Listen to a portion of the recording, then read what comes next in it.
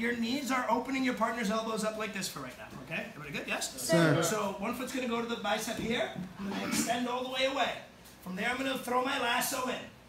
When I throw my lasso in, what I wanna do here is this. I just wanna pull him in towards me. As soon as I pull him in towards me, he starts to react by pulling himself away. As soon as he pulls himself away, my leg is gonna unhook, it's gonna kick down, and the other leg is gonna kick over. Now, what's very important here, come back is making sure that your shoulders stay on the mat here. So as I kick this way, look, there, there.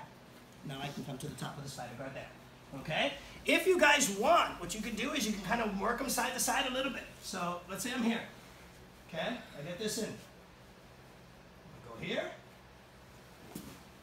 And then get to the top. Okay? Make sense to everybody? Sir. Anybody have any questions with that?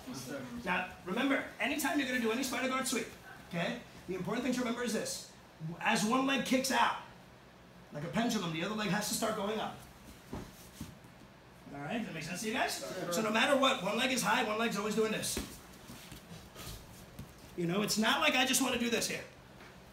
I literally want to make sure that I cut across and almost go backwards, like this. Like I want my foot to come all the way up and hit the mat like that. All right, so make sense to you guys? I'll show you one more time here. And if you want, guys, if you want to get like a little more relaxed with it, you can do this. You know, escape, escape. Then from this position, after you escape, kick up, turn, get your sweep, get to the top. That's absolutely fine. Just make sure that you're kind of controlling your, your partner like a marionette. All right, so make sense? All right, let's get them, guys. One, two, three, let's go.